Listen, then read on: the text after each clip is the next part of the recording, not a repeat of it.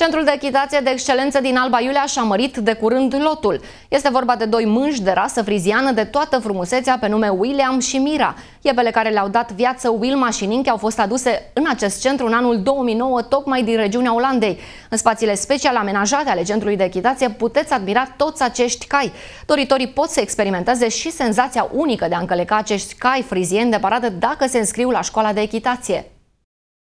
Alba Iulienii s-au obișnuit deja cu acești minunați cai de rasă pe care îi pot vedea zilnic, fie la centrul de echitație care este situat pe traseul de sud al cetății, fie la schimbul de gardă care are loc la poarta 3 a cetății. William și Mira nu sunt singurii frizieni născuți la Alba Iulia. Din 2009, numărul acestor minunate exemplare a crescut constant. Nașterile au decurs foarte bine, fără probleme și William și Wilma sunt, au fost ok, sunt ok, cresc. Mai avem încă trei de acum 2 ani, de 2 ani jumate. El este William și mai avem înăuntru pe Mira, fata lui Ninche. Alba Iulienii care iubesc cai și doresc să evadeze din cotidian pentru a se relaxa și pentru a experimenta ceva nou, au ocazia să ia lecții de călărie. Beneficiază de personal instruit și calificat, vestiare și multă atenție. Un curs durează 10 ședințe și este baza după care se poate aprofunda, urmează mai multe ședințe. Pasul, trapul și eventual galopul, dacă se descurcă foarte bine. Cei care doresc să învețe să călărească se pot programa la numărul de telefon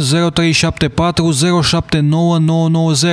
O ședință de echitație durează 25 de minute și poate fi programată în intervalul orar 8-21 de luni până vineri. De asemenea, va sta la dispoziție și o trăsură de epocă trasă tot de acești minunați frizieni pentru plimbări prin cele mai frumoase zonele fortificației din Alba Iulia.